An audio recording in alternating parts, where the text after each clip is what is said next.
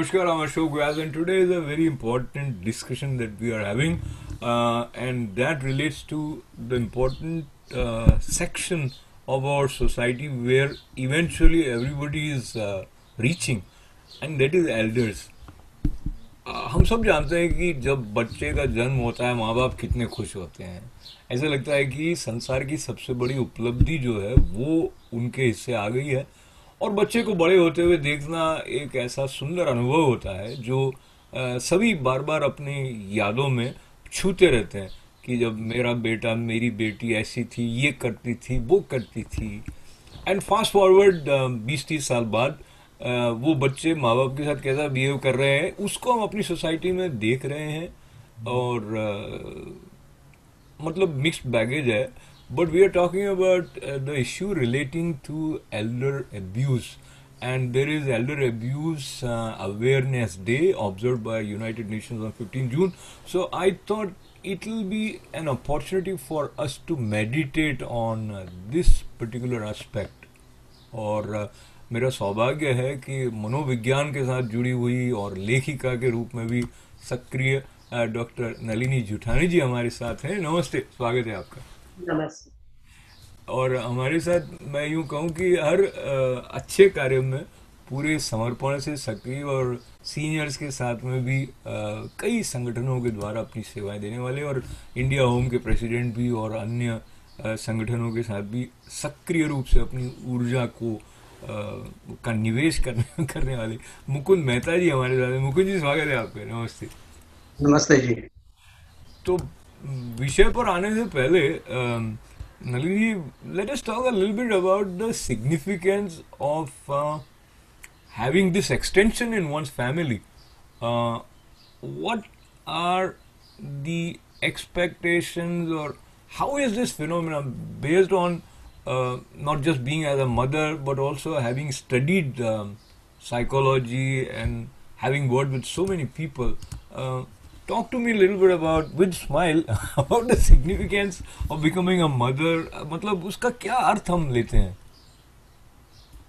uh, Ashok ji, I am a mother. I am a grandmother. I have a mother who is 95 years old. wow So I have seen intergenerational communication. And it all boils down to how we raise our children from birth.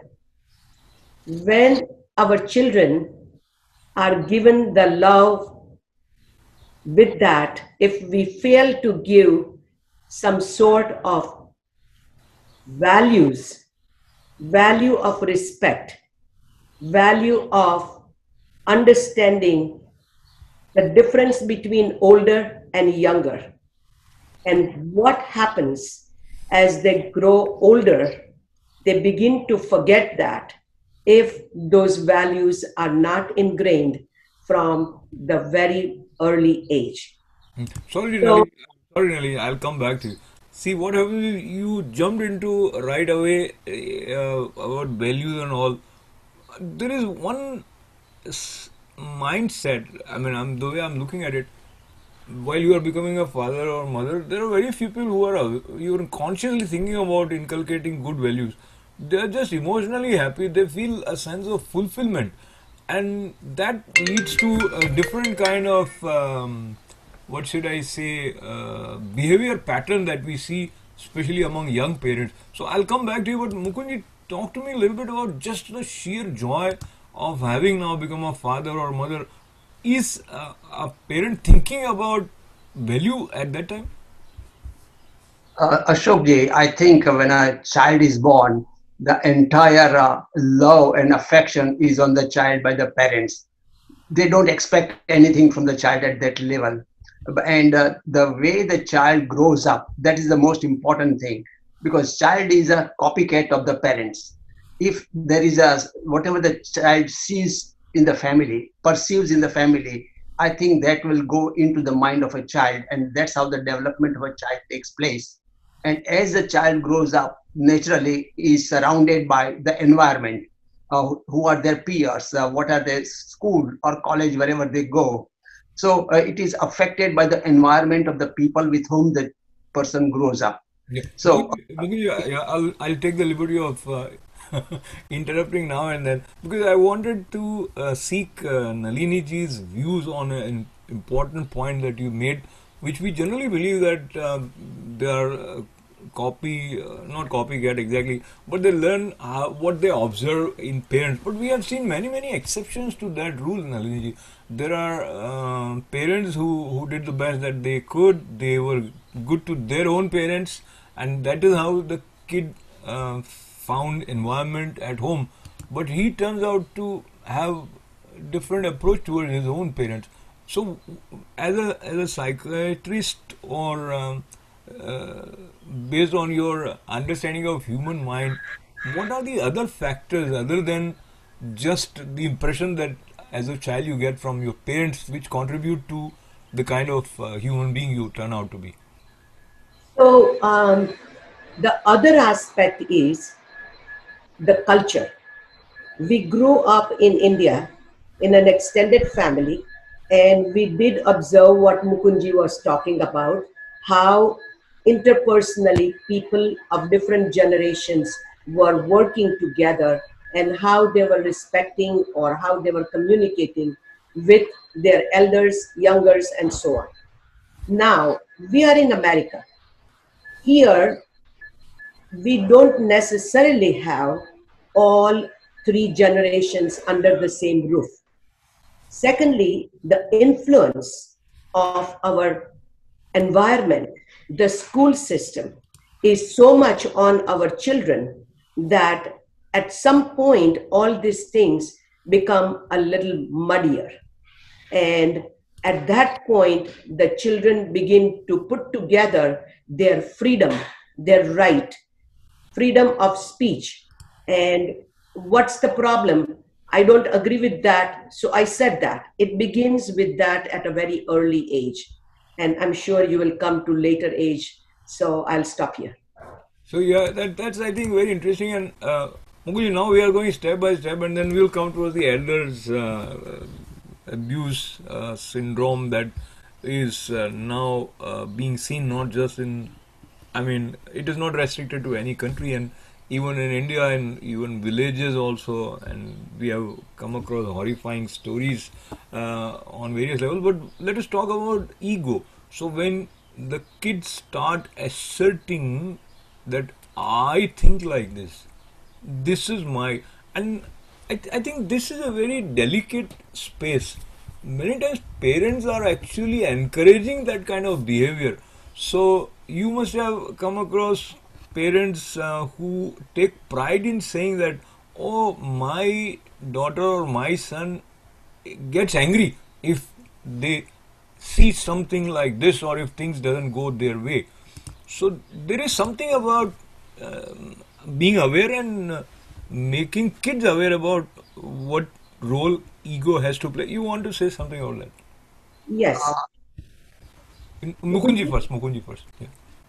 Okay, uh, I think you are very right on this uh, subject uh, because uh, if the parent uh, give freedom right from the beginning uh, as to the what are the opinions of the boy or a girl and heed to their requirements, I think then the child's path of progress goes in a separate direction. There should be some sort of a control at a young age because uh, in our uh, even when they go to the school in our days, as you know, uh, Acharya Devo Bhava, whatever the teacher says, we used to take it for granted, and naturally, teachers always used to say something good always, and we didn't oppose the teacher or anything like that. And sometimes the teacher gives the punishment also, physical punishment, and we used to bear it. Now, in this country, uh, when the child grows up and something happens, and if a parent or the teacher uh, gives a little beating, he will call 911. You know, that's a completely different thinking. So it is uh, the environment in which a child grows that is most important. And uh, here in the Western culture, I think they become more assertive at a very young age. Why not this way? Why not that way? Why not, you know, according to what I think? So they become individualistic and subjective in their approach. So that becoming individualistic is uh, encouraged as a value sometimes, and uh, I mean, uh, Nalini, there is some balance that is uh, that is required, and that delicate balance where you are giving enough freedom, yet you are providing certain framework or some um, basic uh, outlines as to this is the track where you should flourish and you should not go beyond it. So, in the extreme, what I'm saying means you don't start smoking, you don't start drinking. That is one aspect. But uh, coming back to when we expect parents uh, to be uh, all knowing many times, is not the case. They have their own imperfections. They have uh, their own uh, psychological problems uh, that they are facing. So what happens is the kids uh, grow up uh, in a state of confusion sometimes. So talk to me a little bit about uh, this particular impressionable age where they are learning about life. Uh, what other uh, tip you can extend for parents, especially when uh, they see unruly, uh, confrontational kids? So, um, once again, all this begins at home. When child is born, and this does not start at the time when the child is a teenager, because all the things that are happening in the household. For example, if the child sees that the grandparents are not treated with respect, they are learning that that should be the norm of the household. They go outside and the teacher says, Don't look down, look straight into my eyes and give me the answer. Now, the child has learned that when the parent is talking or scolding you, you look down. You don't look straight into their eyes because this Yeah, is yeah. called disrespect, right? Correct. And so, and so the child is confused. And um, to navigate between the two cultures and to to take the two different values and put them together at a very vulnerable age is almost impossible. Some do it better and some cannot do it. Now, here, what happens is that the parents are giving them mixed messages. Succeed in school. You have to go and, and assert yourself everywhere, whether it is sports or it is academics. Come home, be quiet. Do not speak. So the child doesn't know where to navigate. And there are all the adults that he's coming in contact with. However, he cannot decide what I should be doing. So both sides, the parents will call the the the the teachers will call the parents and say your child is very subdued. I don't know what's going on. He cannot compete with the other kids, and the parents are giving them mixed messages. No, you must go and do this. That is So- that is very beautifully uh, explained. I think uh, I would like to clap on that for you, uh, Nalini ji, because uh, this uh, overlap of culture as well as uh, inner uh, various complications that any human being might have, whether he's mother or father, doesn't make him perfect.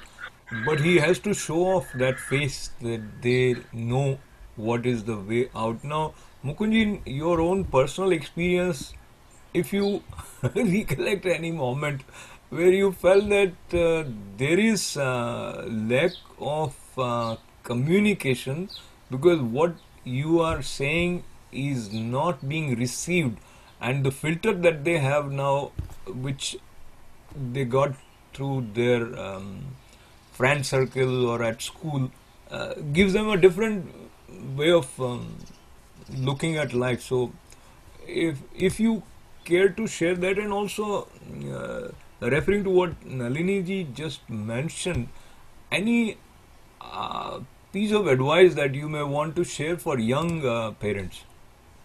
Uh, Ashok ji, uh, I agree on that one that there is a clash of the cultures because when we all grew up in India, the people are all homogeneous.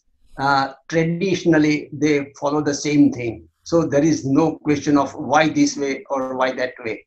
But uh, here, uh, the culture is totally different. Uh, parents who have come here, the first generation, they have the notions of how they grew up in India.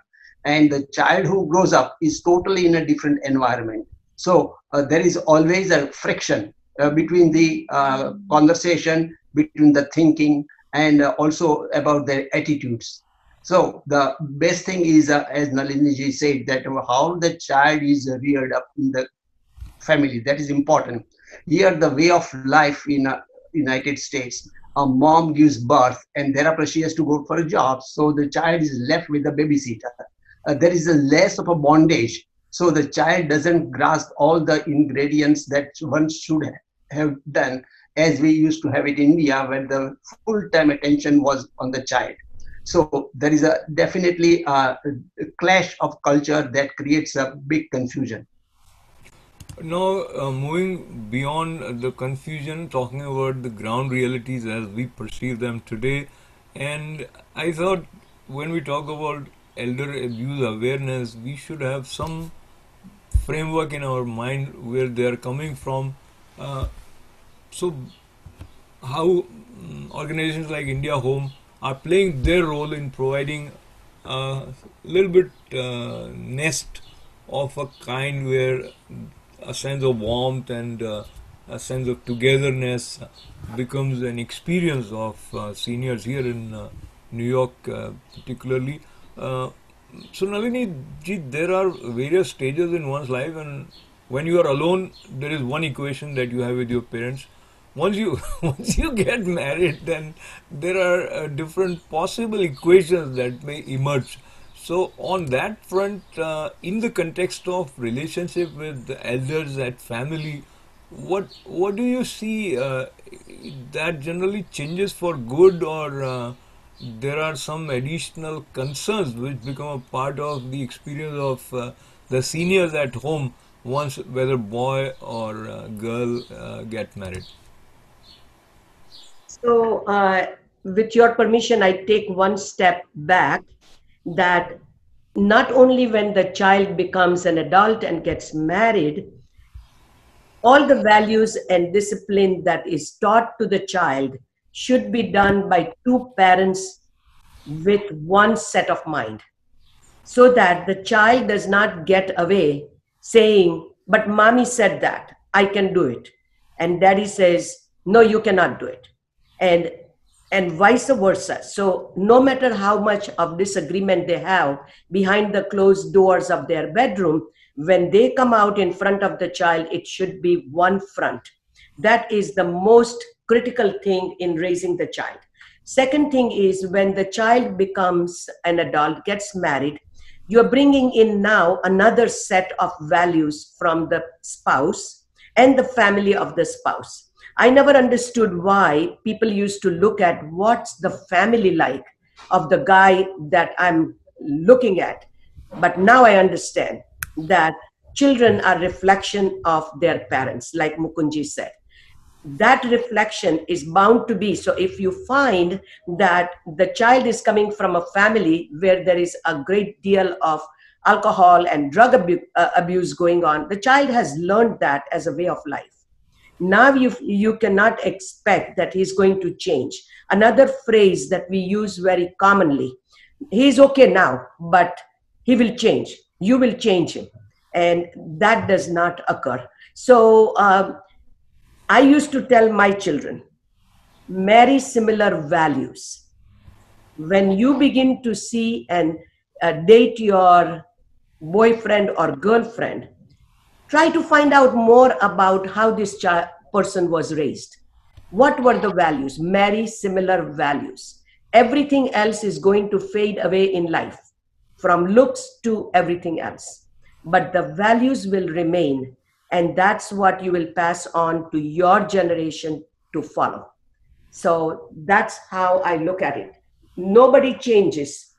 The, the child cannot change the spouse, and the influence of the spouse on the child depends on how their interpersonal relationship is like but in this country what the parents think is the right thing to do between the two spouses does not work because Absolutely. because absolutely. they are adults they are adults and and uh, that they will not take very kindly so very similar values is a mantra that I wanted to repeat, and I think uh, it is a very uh, crystal clear way of uh, giving some outlines uh, in uh, helping anyone decide what kind of life partner one should have. But then again, it has many questions because when you get swayed by that which we commonly say pyar ho gaya, then you forget about values. You don't even think about your parents. You just look at the person, and so not getting into that side. Coming back to our uh, track slightly from the context, uh, that brings us to the problem which seniors face, and I'll. Um, i'll recollect very briefly what i heard a widow uh, mother uh, with two uh, well settled boys uh, uh, got them married. Women now are different. They are asserting themselves in society. So these both were working women. Now they wanted the household to be conducted in certain fashion.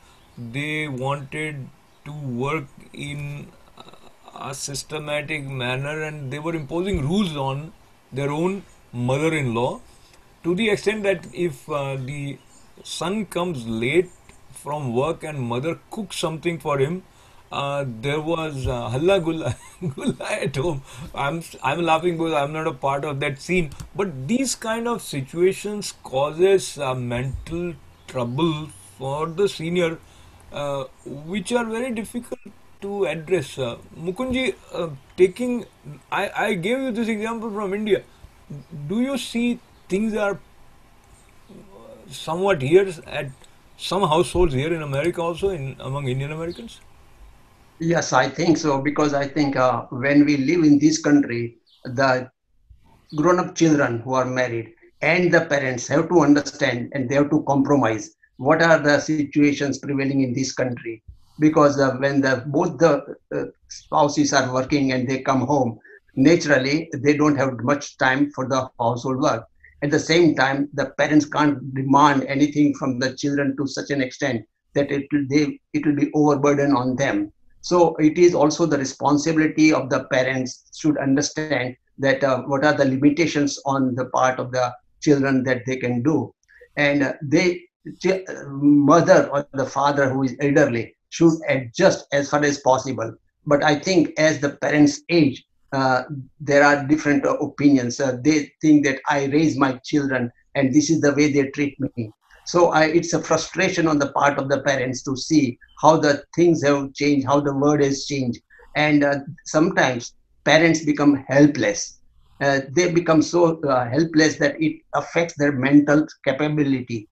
So it is a balancing between the uh, children and the parents to come to a common compromise mm, way so that the household works uh, nicely Absolutely. So balancing act is important, and for that uh, you need uh, a sort of a support system uh, where you can uh, freely uh, say enjoy. You can be what you are, and from that point of view, organizations like India Home and other senior organizations play some role in offering a place where seniors uh, create some happy memories.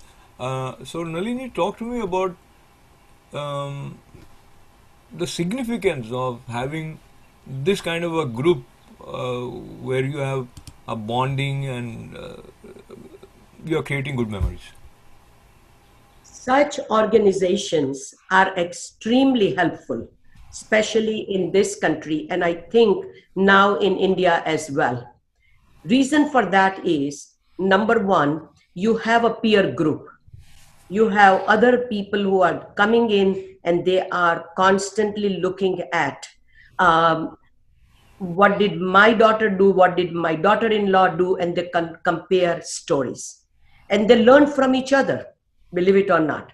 Then there are all kinds of groups that are run by the staff of this organization. And during that group, they also learn and they feel like they have an outlet. So if it is a creative activity, some of their frustrations and anger are has an outlet through the activity that they are doing. Um, other thing which is uh, that the organizations do is they empower them. They do activities like um, the members will conduct a play or they will do a dance program. And in the in in the culture we come from once you get older your place is either in the temple or be unhappy at home.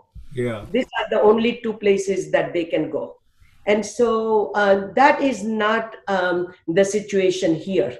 We learned uh, from one organization that given an opportunity to go to a casino. The seniors were very happy to go on a bus tour to a casino which would be unheard of in the culture from where we come from. Or even the parents who have come here in this country and we say would you like to go? They would have first thought about it twice. So um, so those are the things that uh, organizations provide. And if there is any medical problem they will refer them. It will be picked up way ahead of time then later on. Uh, so there are multiple. It is biologically psychologically and socially a perfect place where the seniors would be going. Wonderful. Um, there are two sides uh, which I would like to touch with both of you briefly as we move towards the concluding part of our conversation. One, um, keeping the concern of uh, abuse for some elders.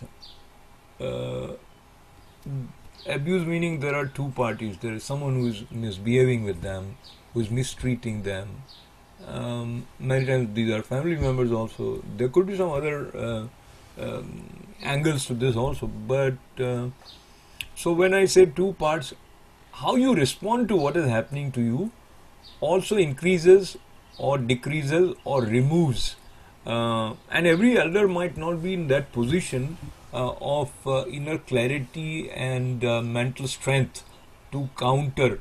Uh, but let us talk about that first.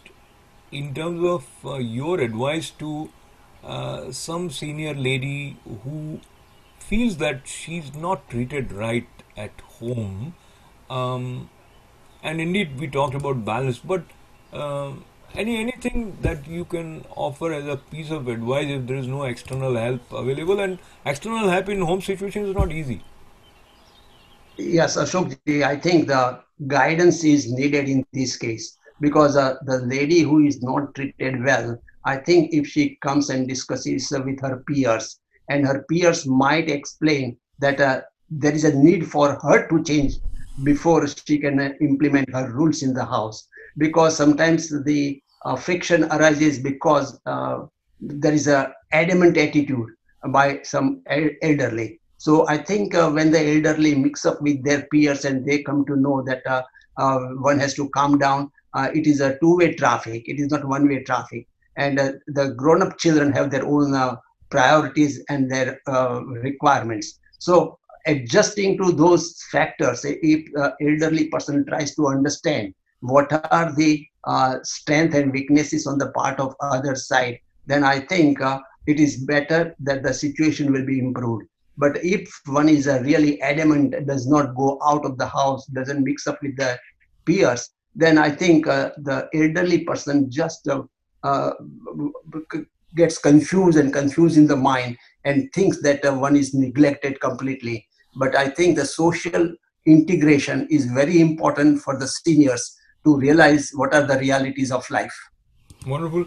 I think uh, you make a very good point, and Nalini, very briefly, if uh, what Mukunji uh, has just said, uh, it, uh, if I use the word assume, it assumes that the senior person who is being affected is open uh, to uh, some suggestions uh, from the peers or but generally we have uh, heard that once you have certain age then you are a little bit rigid in your approach about uh, and you you constantly have your mind telling you oh, I did this, and at least this he or she should have done. So, not taking away what Mukunji said, but what additional um, insight you can offer uh, on this space for someone who, who gets bogged down uh, by memories and he's always or she's always miserable that, oh, this happened to me, this happened to me. You know, Ashokji, uh, in our language, this is an issue of, it's multifold. One, the issue is about control. In our culture, what we have learned is the oldest person has the maximum control. That does not occur here. So we have seen several families where the son gets married, brings the wife to the house of the parents. Very normal in India, nothing to discuss. In less than a couple of months, problems begin. And now the son wants to go in a separate place, but to keep the harmony, he says, You can move in into our house. Now remember, this was parents' house. Now they're going to move into the son's house. Maybe they have done and accepted that, but very soon they find out that this is now the daughter in law's rules what time they eat, what they eat, and who cooks for who, all that is determined by the daughter in law. This issue of control makes it extremely difficult for the older generation who has always been under their own mother in laws. And they never thought about this is my home and your home. So that's one issue. The other issue is that elderly people are rigid and fixed in their own thinking. We all are. And as we get older, we become more and more. They also need, as Mukunji said, they need some level of understanding that either it is that you stay independently or you stay together and if you stay together you will have to bend and have a compromise and that usually becomes very hard. So only time the parent will accept that is when they have medical or emotional problems. And at that time we begin to think about um, assisted living or even in nursing home. And once again some harmony begins to get established. Although this is not quite happily accepted by our culture but um, it is it is much better than fighting every day. And then what happens is in terms of abuse it begins with verbal abuse which we don't talk about as much.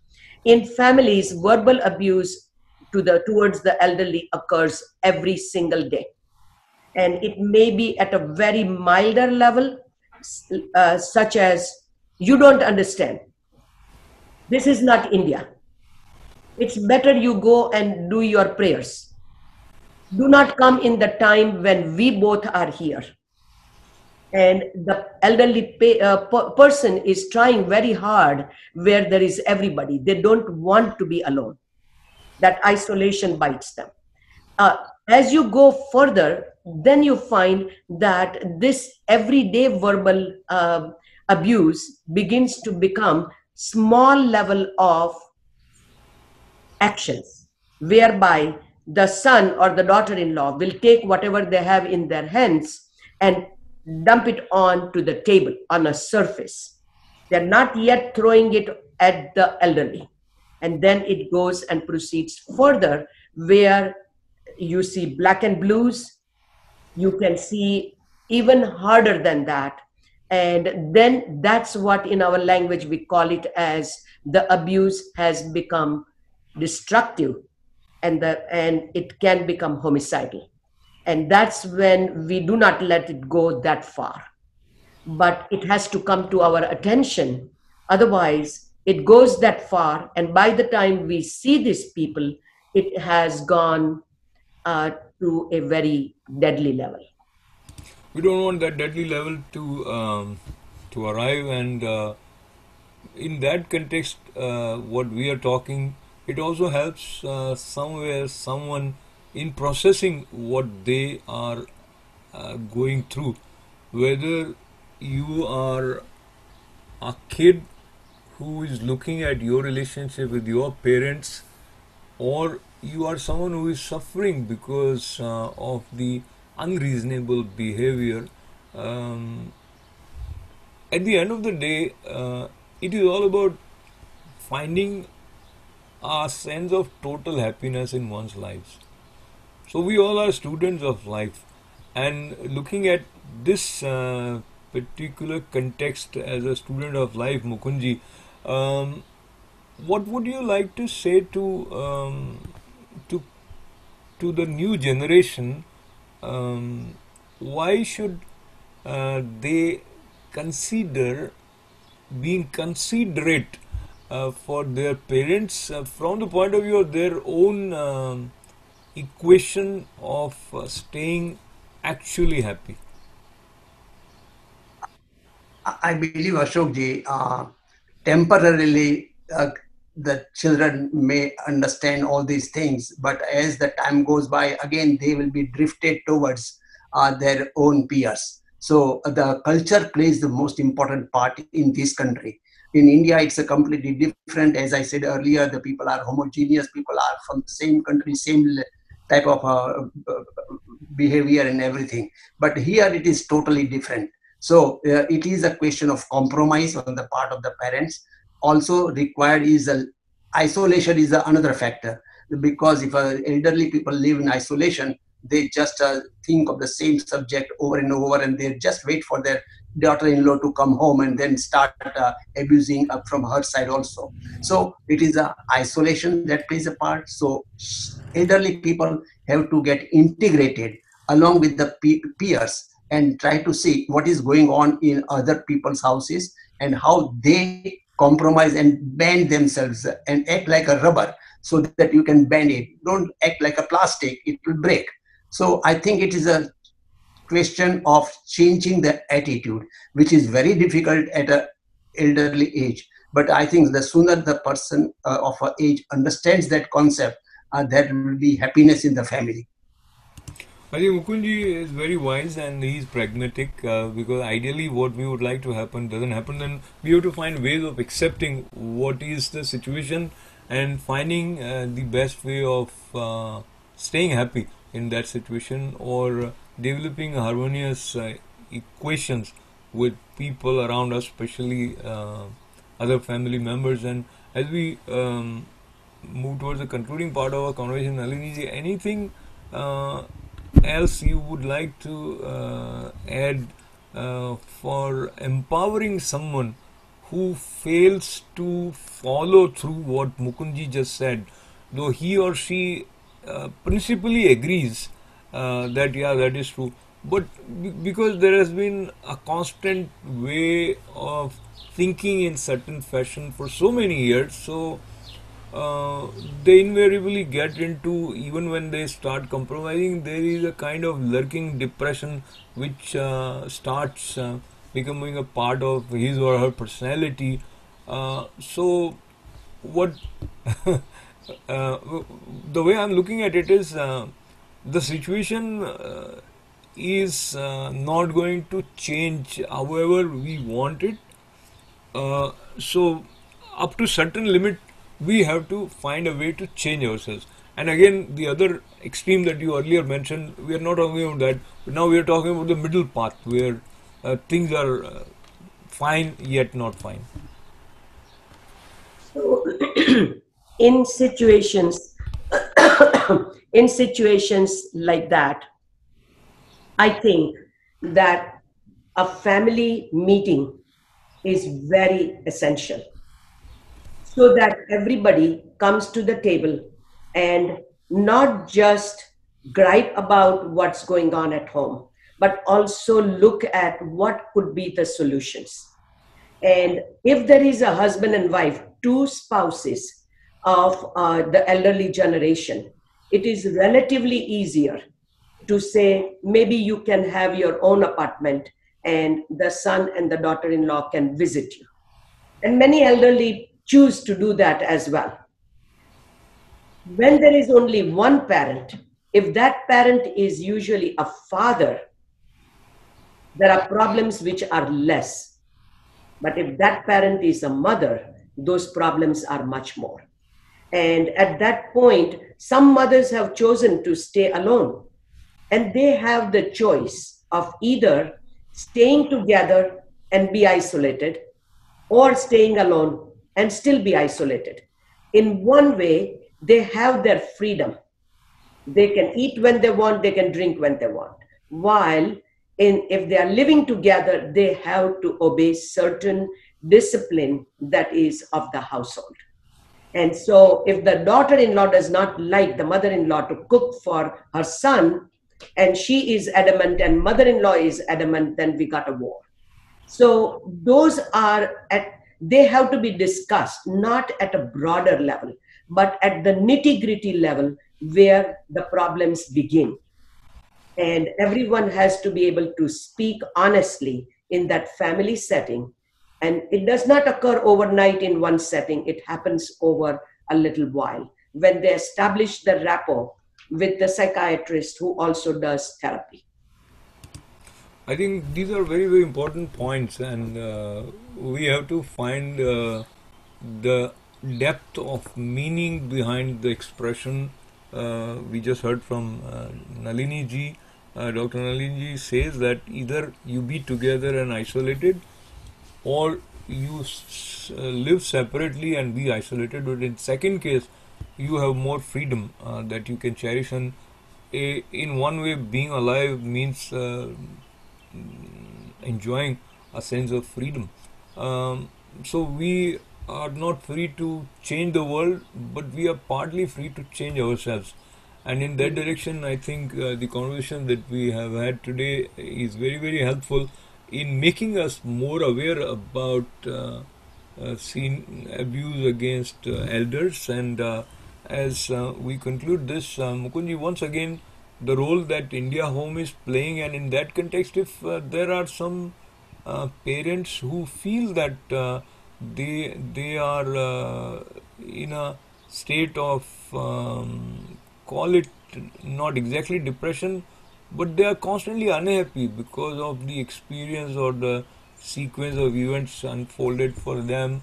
Can they see a ray of hope uh, in some way in uh, organization like uh, india home? That's definitely ashokji. I think uh, india home strives to have uh, meetings of all the seniors uh, whenever they meet in person or nowadays through the zoom and uh, to inculcate in their mind uh, uh, what is going on in the current situation. So, India Home is also having to start a dementia center because people don't generally open up and they say that one has a dementia. But I think uh, when they come to this dementia center, which will be open very soon now, uh, people will be uh, given professional guidance as to how to resolve the problems at home, how to behave, and behavioral science will develop there. So I think uh, people will benefit by uh, attending this type of uh, classes, this type of uh, seminars, and uh, they will understand uh, how to resolve the matter and compromise is the key to this situation. Very nice. Thank you very much. That's very encouraging. And um, you mentioned about dementia, so I'll just bring in Dr. Nalini one more time uh, before we actually uh, conclude this session. Um, one, I just recollect uh, based on what I had heard. Uh, I was reminded a family that eat together, stay together. They say.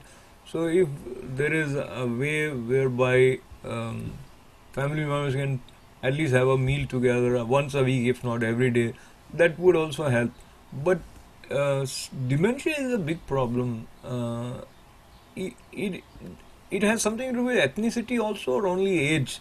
That would be one question for you, Nalini. And secondly, any tips um, based on the activities that you have seen at India Home uh, that you can give for anyone to uh, take care of their memory? Uh, certain normal daily chores or um, routines that one can adopt uh, to to keep keep this continuity of memory uh, for a long time? So, um, dementia has been studied and researched, but we do not know yet that there is any particular ethnic group that is more uh, inclined to become demented. We do not know that. Uh, second thing is that in dementia, there are uh, multiple different kinds of dementia. Dementia, one word, and we began to think everybody is Alzheimer's. That's also not true. In the old days, we used to just call them senile, and senile senility was dementia. Dementia at many different levels, which is beyond this session, but um, one can say that it begins with memory deficits. And um, even by the age of 40s, upper 40s, people will begin to say, Oh, I forgot, I forgot, frequently.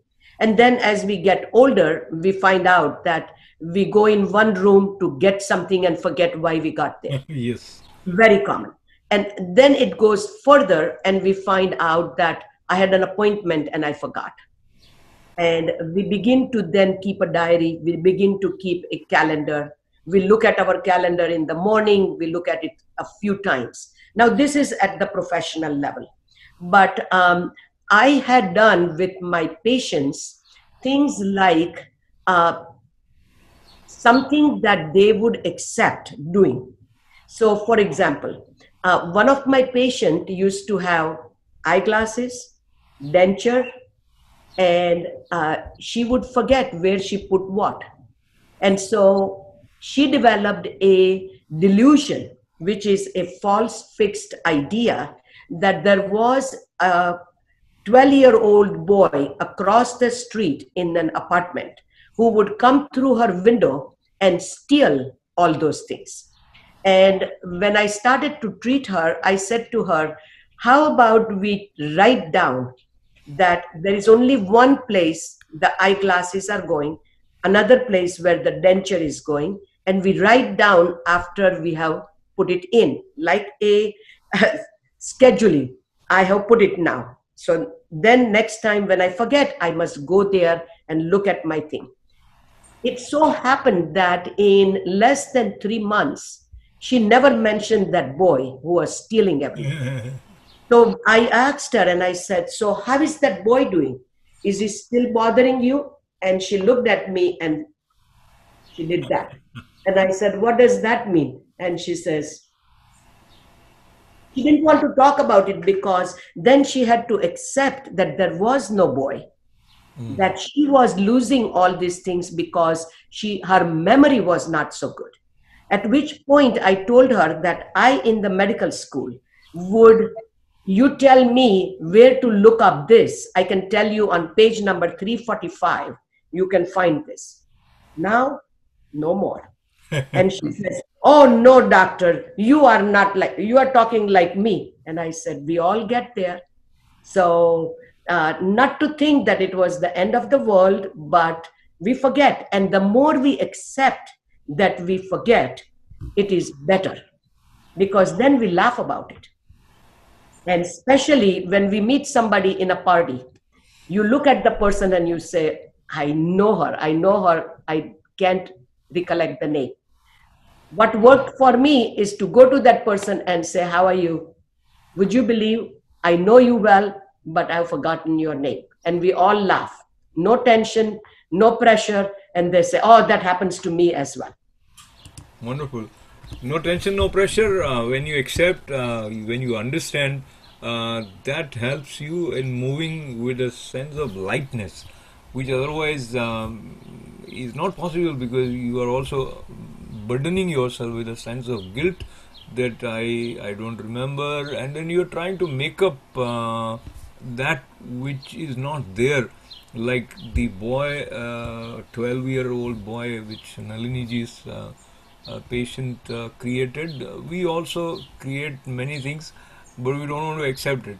So acceptance leads to a sense of harmony and harmony uh, leads to a sense of happiness, and that's what we want for everyone. And abusive behavior doesn't serve in anybody's uh, quota of happiness. The one who is inflicting pain on others would also eventually be um, the recipient of that pain in some or the other form is what we have experienced and we have heard. But hearing uh, words of wisdom uh, from uh, Dr. Nalini Juthani ji uh, is a great uh, learning for us and learning about how India Home is um, providing an important uh, platform uh, to address these issues is also important. Uh, so, thanking uh, these um, two uh, wonderful human beings, uh, offering my pranams to them. Uh, so, Mukund ji and Nalini ji, thank you very much. और आप सभी का हमारे साथ uh, बने रहने के लिए बहुत बहुत आभार we move forward together to create this world a better place and in that direction uh, individually or as a part of an organization like india home whatever best we can do we should not hesitate uh, because uh, there is always an end for everything. And now is the time to end uh, this session with lots of good wishes. This is Ashok Thank you, Ashok ji.